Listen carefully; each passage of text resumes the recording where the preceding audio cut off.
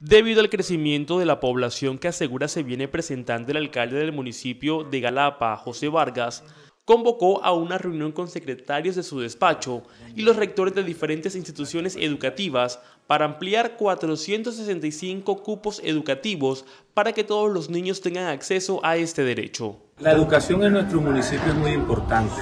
Por ello, esa reunión con los directores, donde ellos pudieran darnos la capacidad de cupo con la que contamos. No queremos que ningún niño en nuestro municipio se quede sin estudiar.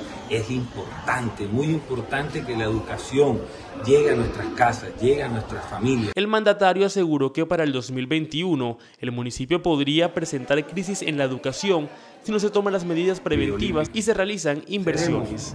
Sabemos que tenemos una migración que crece cada día más.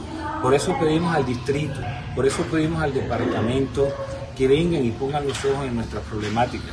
Queremos trabajar fuertemente y gestionamos para tener un segundo megacolegio en Villa Olímpica. En los próximos días el alcalde aseguró que le presentará a la gobernadora Elsa Noguera detalles de cómo se encuentra la infraestructura y las herramientas de educación para que les brinde ayuda financiera.